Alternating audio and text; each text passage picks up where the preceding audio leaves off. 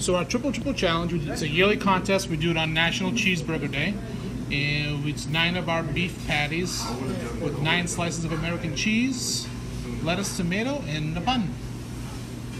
And what can people win?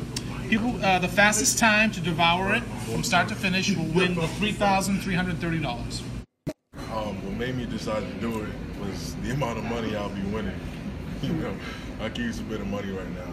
You know, I eat a lot anyway, so yeah. I mean, I was really hungry today. I made sure not to eat nothing, so I was prepared for the, the little challenge or whatever. But yeah, I just, I really did this for the money though. First of all, you can't eat five patties, no problem. Don't, don't even attempt it. Second, make sure you let it cool at least for 10 minutes.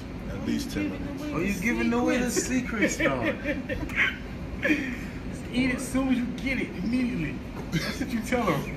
Right away. Are you full? Hell no, I'm so sorry. I'm, I'm not, I'm not gonna lie. No, I'm not. You're not full. No.